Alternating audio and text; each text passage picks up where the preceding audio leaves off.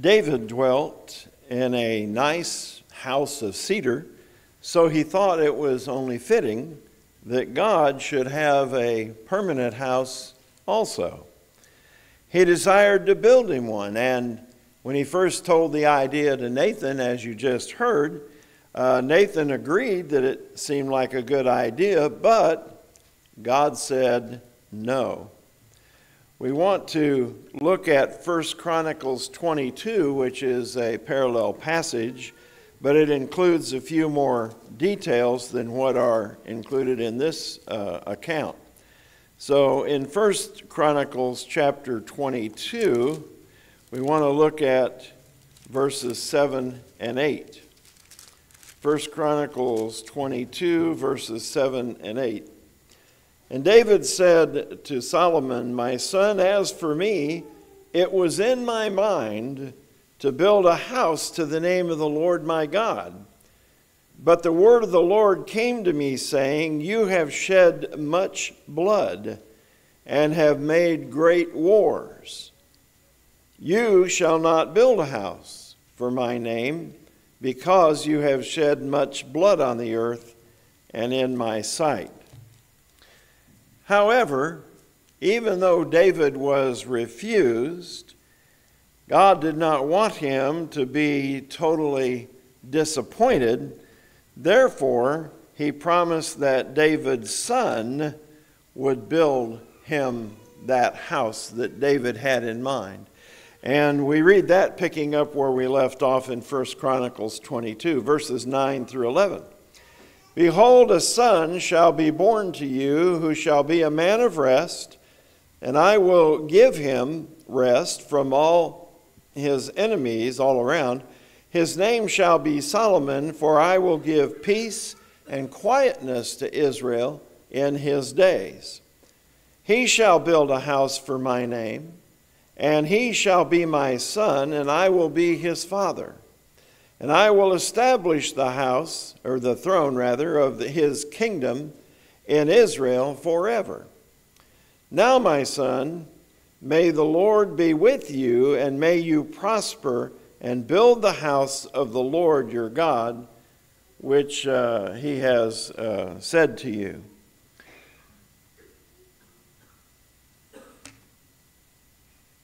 That was one way of alleviating the disappointment that uh, David probably felt in being denied the building of a house for God. But God also made another promise to David. Basically, it is this you wanted to build a house for me, but I'm going to build one for you. Let's take a look going back to 2 Samuel 7 and uh, notice verses 11 through 13. Since the time I commanded judges to be over my people, Israel, and have caused you to rest from your enemies. Also, the Lord tells you that he will make you a house when your days are fulfilled and you rest with your fathers, I will set up your seed after you, who will come from your body, and I will establish his kingdom. He shall build a house for my name, and I will establish the throne of his kingdom forever. Now, Solomon would build the literal temple in the Old Testament, the one to the Lord, a physical building, but Jesus would build a spiritual kingdom house that would last forever.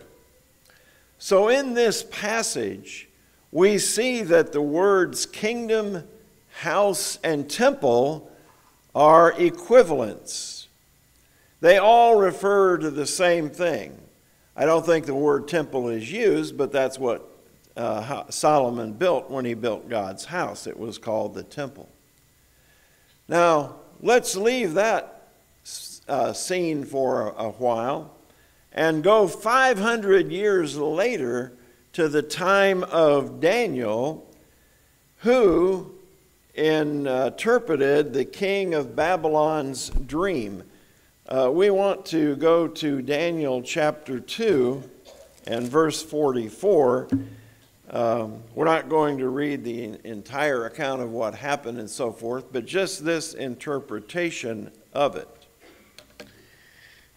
Daniel explains that there are four world kingdoms, the first of which is Babylon, followed by Medo Persia, Greece, and then Rome, and, and uh, of course, uh, uh, that was uh, division after the time of the Roman kings. But four world kingdoms. In verse 44, and in the days of these kings, that is the fourth kingdom, the, the Roman kings, the God of heaven will set up a kingdom which shall never be destroyed and the kingdom shall not be left to other people. It shall break in pieces and consume all these kingdoms, and it shall stand forever. So, in the days of the Roman king, a kingdom would be established. God would establish it, and it would last forever. And so, that is another prophecy of the kingdom, the house the temple of God. Now, this kingdom was preached by John the Baptizer as he came, saying, Repent, for the kingdom of heaven is at hand. Matthew 3 2. And then Jesus came with a same message in Matthew 4 17, Repent, for the kingdom of heaven is at hand. So, this kingdom that had been uh, prophesied to David in 2 Samuel 7, and which was explained to King Nebuchadnezzar by Daniel in Daniel chapter 2, this kingdom is now being presented as about to appear. It's at hand. So the kingdom they had been waiting on, the Jews, uh, had, the descendants of David, uh, the Israelites, they had all been waiting for this time for this kingdom. And now it is at hand. But notice the spiritual emphasis. This kingdom promised to David and pinpointed to be established in the days of the Roman kings has a spiritual emphasis. The kingdom of heaven, Mark and Luke call it more often the kingdom of God. But in either case, there is a spiritual emphasis. And this kingdom is the church. We find in Matthew 16 18, Jesus saying, Upon this rock I will build my church. And then he refers to it as the kingdom in the very next verse. Let's take a look. Matthew chapter 16, verses 18 through 19. Matthew chapter 16, beginning with verse 18. And I also say unto you that you are Peter, and on this rock, and we'll take a look at that rock in just a moment, uh, I will build my church and the gates of Hades will not prevail against it. And I will give you the keys of the kingdom of heaven. And whatever you bind on earth will be bound in heaven, whatever you loose on earth shall be loosed in heaven. The church, I will build my church and give you the keys of the kingdom. The church and the kingdom are used synonymously in this passage. Well, notice again 2 Samuel 13, 7 13. He will build a house. Jesus said, I will build my church. The same word uh, used in the Greek Septuagint, the Hebrew Old Testament was translated into the Greek in a translation called the Septuagint sometimes noted by LXX 70, referring to the amount of translators who translated it. The same word used for uh, he will build a house is the same word used by Jesus when he says, I will build my church. And uh, I mentioned that we would take a look at the rock. Jesus said, On this rock I will build my church. They were uh, in this location where this huge rock exists. In fact, the whole thing is, is rock. And uh, it was in front of this that Jesus made this pronouncement. But let's continue with the idea of the equivalence. The church, the body, the kingdom, the house, the temple are all equivalents. In John 18 36, Jesus said, My kingdom is not of this world. If my kingdom were of this world, then my servants would fight that I should not be delivered from the Jews, or to the Jews. But now my kingdom is not from here. Matthew 16, 18, and 19, we already noticed the interchange of church and kingdom. 1 Timothy chapter 3 and verse 15. Paul writes to the young evangelist these words But if I uh, am delayed, I write to you so that you may know how you ought to conduct yourself in the house of God.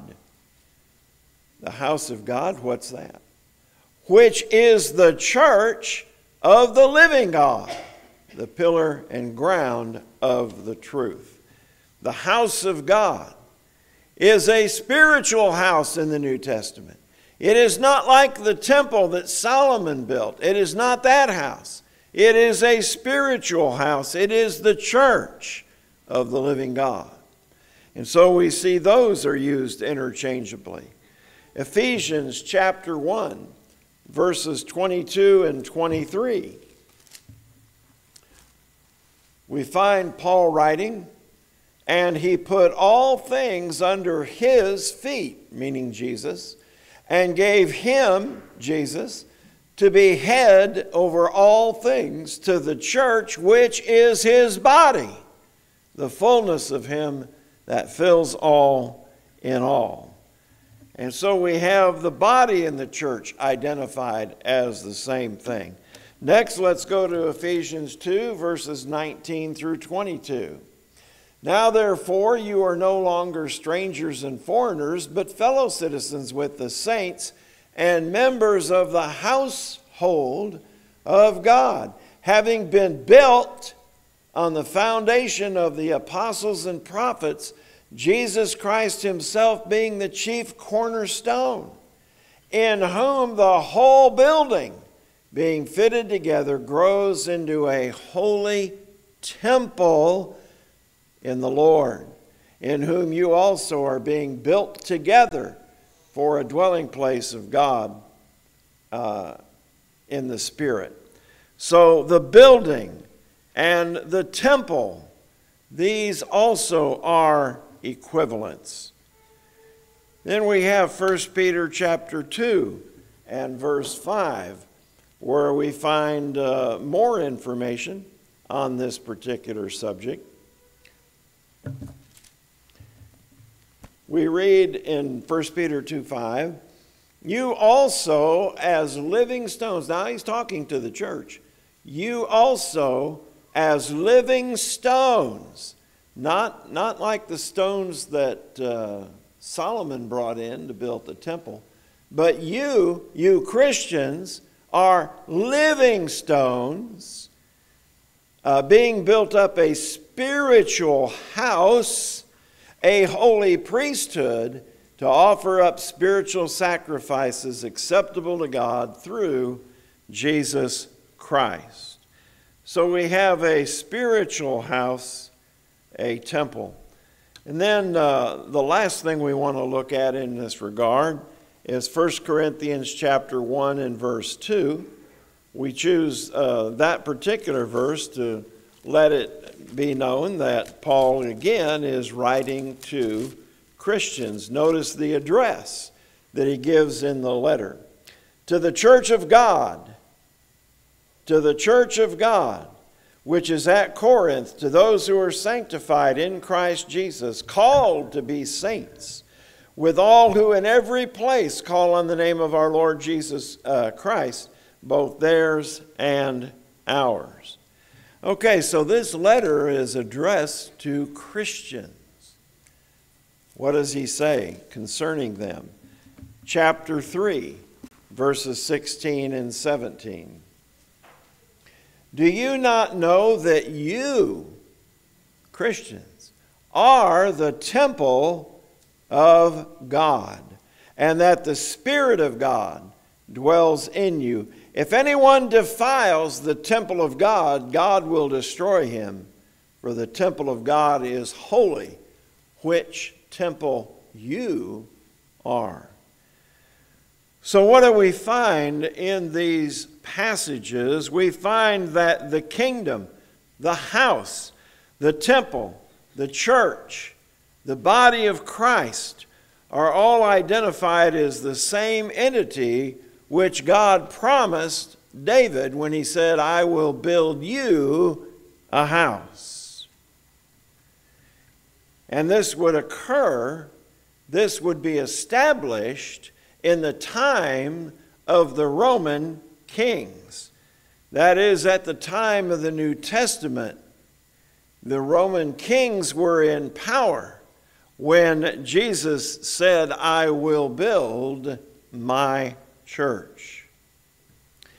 Now, those who are baptized for the forgiveness of sins are citizens of this kingdom. Now, what does all of this mean to us? You might say, well, that's all very interesting, but what does that mean to us? There is a common misunderstanding in society today concerning the nature of the church. Many think the church is a social institution that they can take or leave, visit when they feel like it, and be involved or not be involved with it. Is that so? Is that so with a kingdom? Don't all citizens have a function? Don't they pay taxes? Seek employment, and contribute to the good of the community, of society? Aren't all bricks in a temple important? Don't the windows and roofs have functions that are necessary? What about a body? Let's take a look at 1 Corinthians chapter 12, verses 12 through 21. Now, remember, as we read this, we're talking about the temple, the house, the kingdom, the church, the body. 12 and verse 12.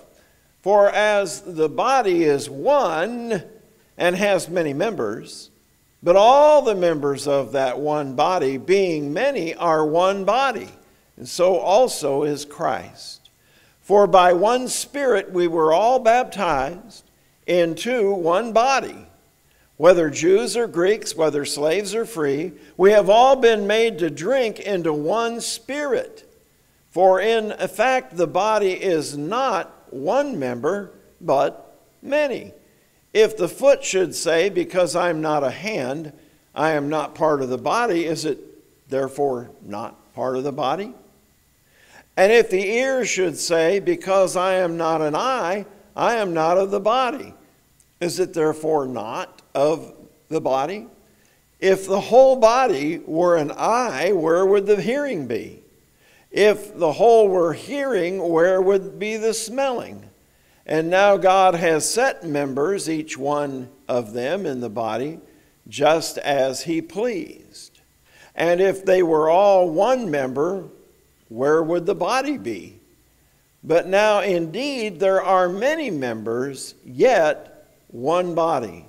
And the eye cannot say to the hand, I have no need of you, nor again the head to the feet, I have no need of you. So, where does the idea come from that the church, the body of Christ, is something that is optional, peripheral, or casual? Well, apparently that comes from society, from the way a lot of people think. Maybe to go beyond that from the devil, but it doesn't come from the Word of God. This is not what we read of the body, the kingdom, the church, the house, the temple. That's not how it's described. The thought that is wrong that says if I occasionally attend worship, I have fulfilled my obligation to God. But the rest of my time is my own.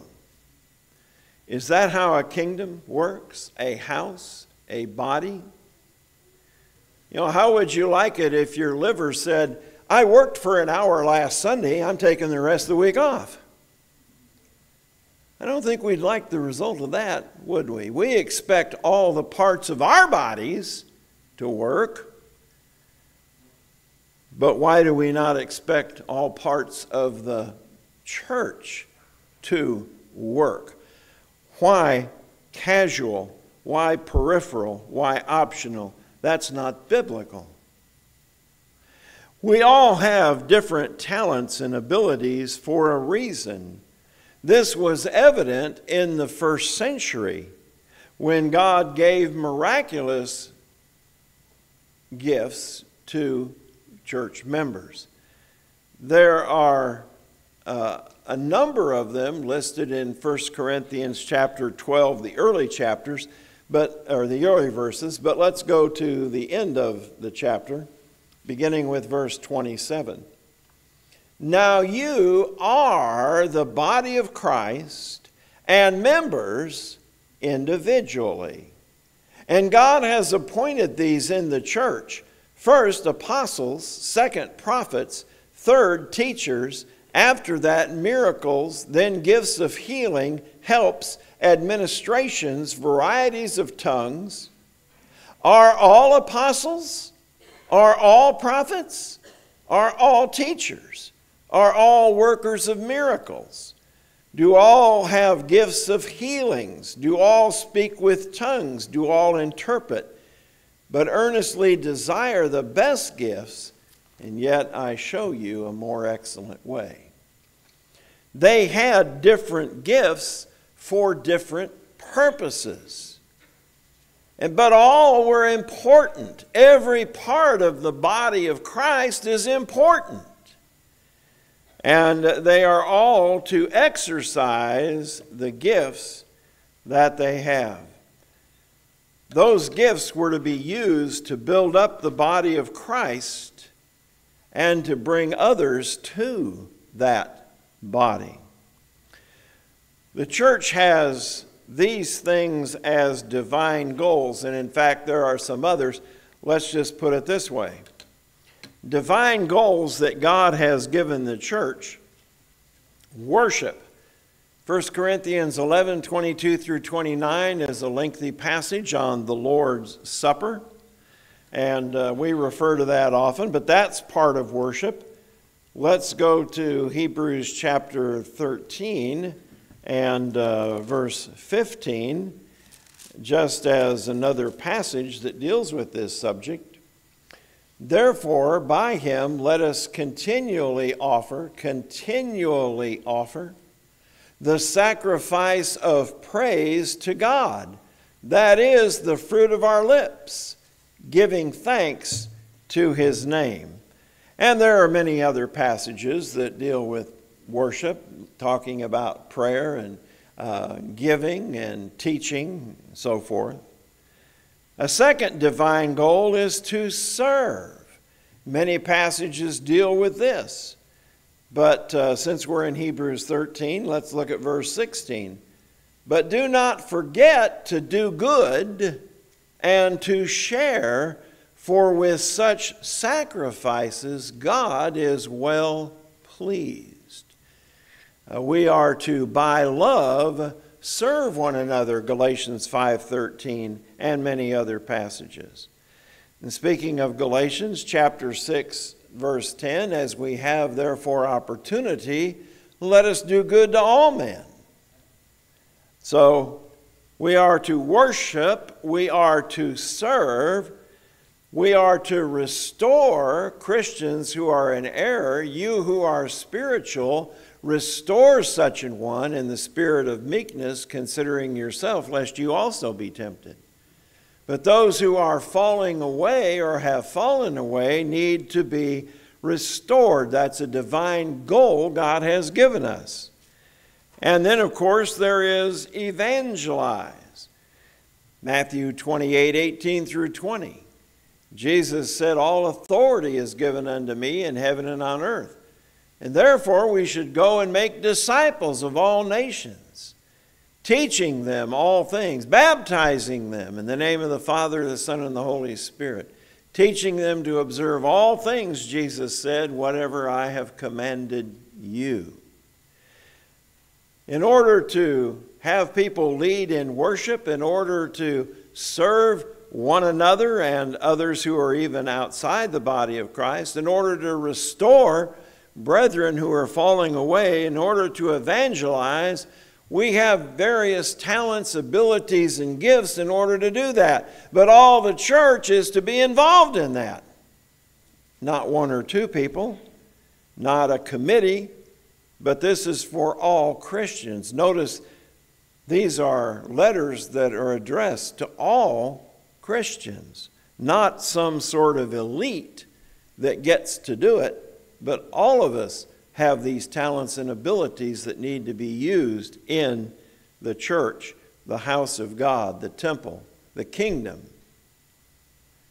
Our culture is big on worship, but does not seem to be aware of these other obligations.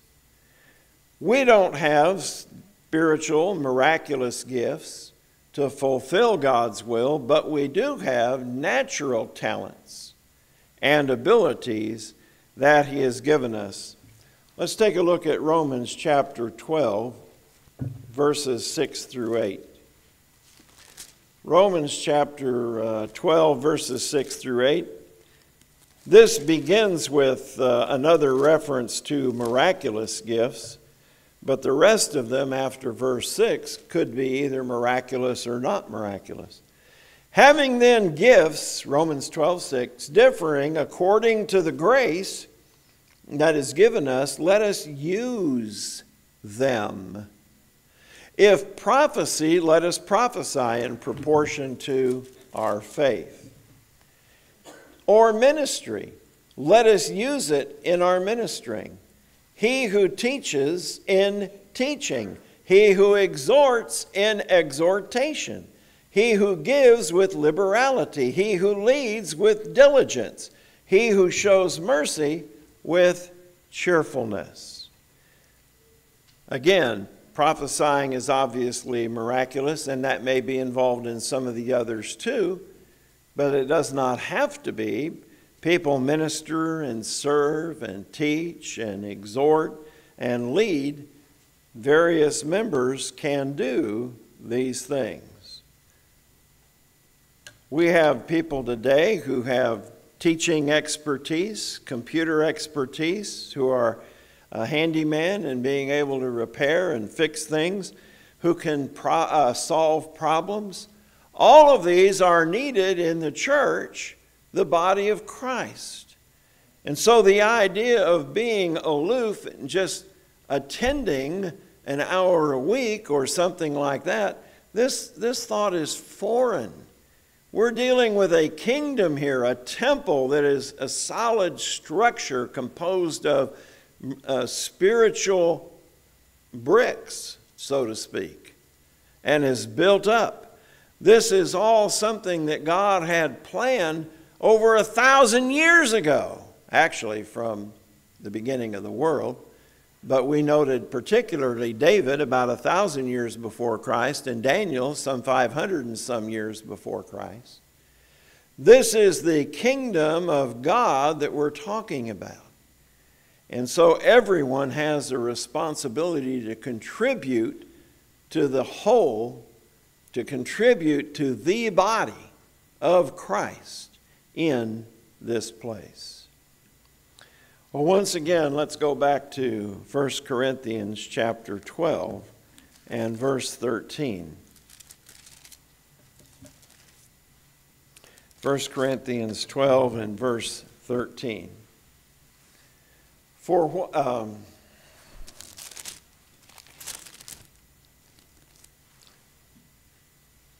For by one Spirit we were all baptized into one body. There's only one way into this kingdom. And when John came preparing the way, he told people to be baptized. When Jesus followed him, he baptized also, though not personally, his disciples did. Baptism is part of the Great Commission, as we already noted from Matthew 28 and verses 18 through 20. But Paul is just simply mentioning here, for by one Spirit we were all baptized into one body, whether Jews or Greeks, whether slaves or free, and have all been made to drink into one Spirit. The Spirit wrote these words so that we would know how to get into that body and how to live and conduct ourselves once we are in that body. If you are in that body this morning, we rejoice in the decision that you made to become part of that body. And we encourage you not to be aloof or casual or peripheral, but part of the body in the way that God designed the body to work. But if you have not obeyed that gospel, you have the chance this morning or to talk with us further to find out that you need to repent of your sins. If you believe Jesus is the Christ, the Son of God, and He is, are you willing to repent of your sins? Confess that He is the Christ? Be buried with Him in baptism so that His blood can wash away all your sins? If you haven't done that, you might want to give more serious thought to it. And we stand ready to help you. But uh, in whatever way we can spiritually this morning, please let us know how we can help as we stand and sing.